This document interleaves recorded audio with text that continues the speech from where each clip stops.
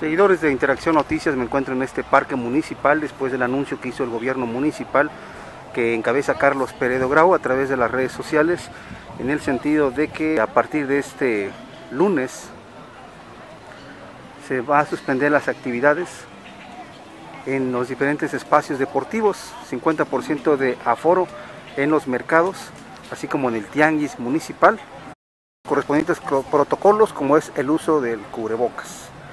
Y por eso se llevan a cabo estas acciones, además de cerrar de forma paralela el parque municipal y la plaza cívica, esto durante un lapso de dos semanas tentativamente, debido al aumento de contagios por COVID-19 en esta región y nuestra Teciutlán, después de la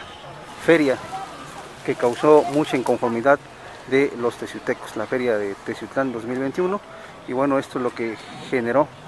posiblemente el aumento de contagios. Estamos observando que desde la mañana elementos de protección civil municipal comenzaron con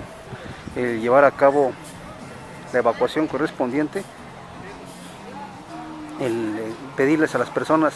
en el parque que se retiran, de por sí la plaza cívica no la abrieron y empezaron a colocar los correspondientes sellos de precaución y de no hay paso para posteriormente la empresa del regidor de obras públicas, el señor Eduardo Tornillo, Eduardo Ruiz Pasos, todos lo dicen Lalo Tornillo,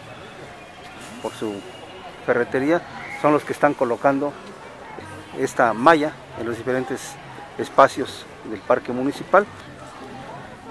Nada más hay acceso a lo que es el pasillo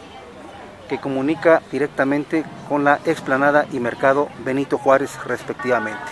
para que no se les afecte su economía ni tampoco para que se afecte la economía, lo que es la cafetería del kiosco municipal. Por eso ahí se abrirá paso, debido a que no han cerrado y aquí hay este, varias personas alrededor del kiosco municipal.